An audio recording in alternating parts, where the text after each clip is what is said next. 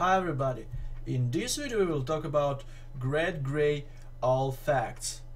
Great Grey Owl uh, is a very large owl and also it is documented as the largest species of owl by length.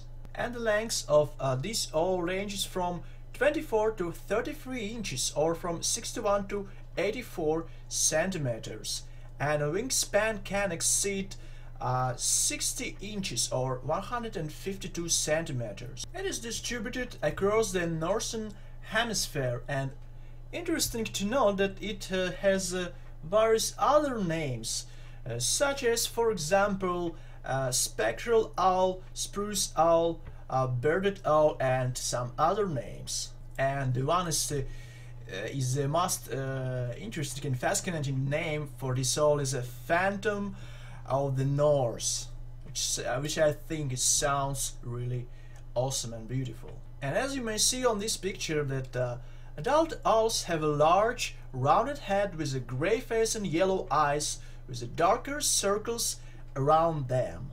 The weight of the adult uh, great gray owl ranges from 1.25 to 4.19 pounds or from 580 to 1000 uh, 900 grams. As it is with most owl species, uh, the males are usually smaller than females. When talking about diet, uh, great gray owls rely uh, mostly upon small rodents, uh, such as voles being their most important food source.